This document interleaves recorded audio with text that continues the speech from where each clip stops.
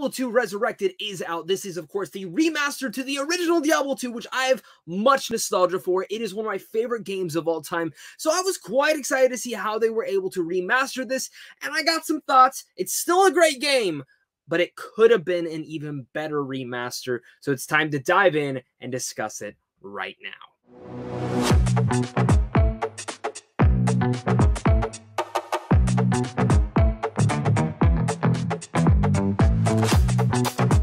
Guys, what's going on? My name is Zach. I'm one of your main hosts at Critics Play Games. We also have Christian and Leo, who are also some of the hosts, but they're not really that much into Diablo, but I am, and I wanted to do a solo installment discussing my thoughts on the Diablo 2 Resurrected, of course, the remaster of Diablo 2, one of the most infamous dungeon crawlers of all time. Of course, this is kind of our in-between before we do get Diablo 4, which is supposed to come out next year with Overwatch 2, pretty excited to see that. And we do have some gameplay going up right here, right now. And this is some beautiful 4K gameplay that I really much like. And that's one of the things we're starting this any way, shape, and form. It's talking about how good the game looks. Now, of course, this is bare bones a remaster. They took the exact same game, up the assets and made it run a little bit better with the 60 frames per second on consoles. And of course, just the graphics and all the assets looking a little bit nicer. Diablo looks cooler. Mephisto, as you can see right now, looks cooler.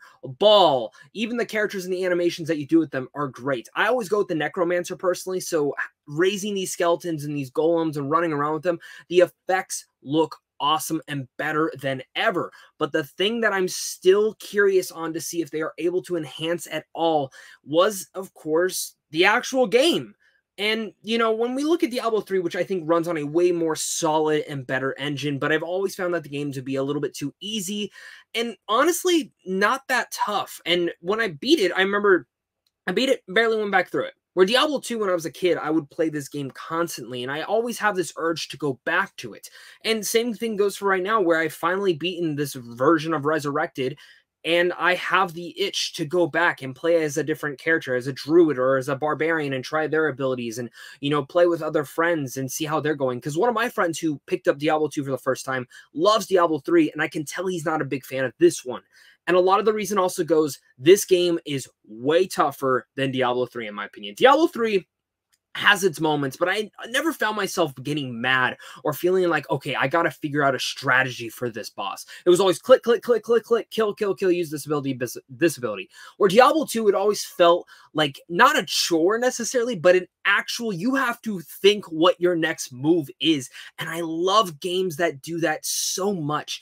And Diablo 2 continues that avenue of it all. And I think for people who are looking for a harder, tougher experience are going to find that within Diablo 2. And I have to say right now that Diablo 2 Resurrected is a great remaster, but it could have been even perfection. And going to the perfection, the one thing I do want to mention is, of course, with Blizzard, their servers coming out the starting day was terrible. I almost took the day off from work, and thank God I didn't because if I would have, I would have been absolutely pissed. Because when I had gotten off work, the servers were still not working for me. I could not play the game until at least 10 o'clock at night.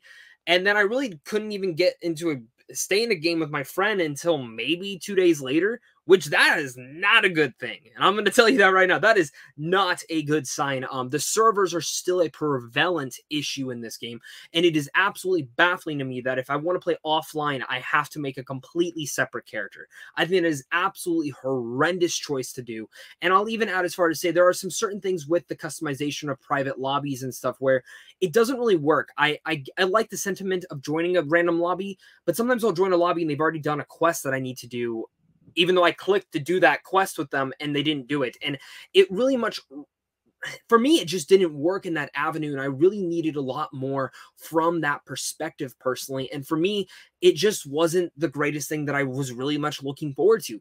I think Diablo 2 again adds to so much to this world and it brings to life this remaster that I adored so much as a kid and that nostalgic overload is going through. But I cannot overlook the issues with the server and especially how they still get in my way of playing a game.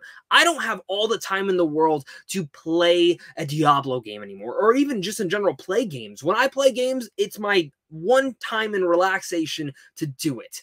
And Diablo 2, I was wanting to have that as this fun little dungeon crawler, but it absolutely sucks when I get home from work and I hop on and I'm like, "Hey, I'm I'm to play Diablo today." And then I hop on I'm like, "Can't play."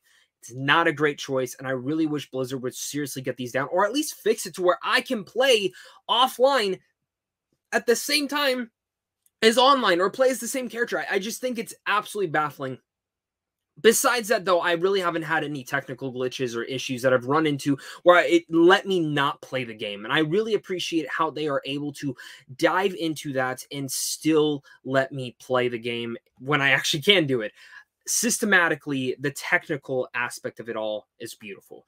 Diablo 2 Resurrected, if you've never played Diablo 2, is a great way to reinvigorate your love for the franchise before Diablo 4. The dungeon crawling is awesome. The characters each have their own ability, and it is a tough game to beat, but you will put many hours into it, and it still is the same classic experience that I played back in the day. And, I, and for better or worse reason, I didn't really want them to change anything. It's slower, it's more methodical than the newer Diablo 3, but I love that. And it actually gets me more excited to see what they might be doing with Diablo 4 as of right now. So, with all that said, Diablo 2 Resurrected is a blast of a time. I had so much fun with it. Even if the server issues are still prevalent issue and I'll probably won't be playing the game too often right now until I really see that they are truly fixing that. I need a lot more from this all. And in general, Diablo 2 though, if you've never played it, I do recommend still getting it, but maybe wait till it's on sale. But for fans who can't wait, you're still going to have a great time. And I still think Diablo 2 Resurrected is a great time. And the, the game is just great. I've said great a lot. That's why this is a podcast. And I don't know any cuts. Thank you so much for watching this, though, or listening if you're listening to us on audio only. I very much appreciate it. Head over to Critics Play Games on Twitter right now and follow us over there. Subscribe to the YouTube channel. Subscribe to where you're listening right now for all sorts of great gaming content. There's so many games coming up, and we're going to be trying to cover every single one of them. My name is Zach. Once again, I'm one of the hosts of Critics Play Games. And of course, until next time, have a great day and keep playing games.